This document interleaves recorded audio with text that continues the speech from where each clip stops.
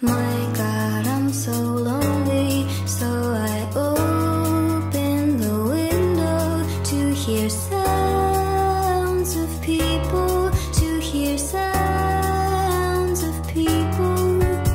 Venus, planet of love, was destroyed.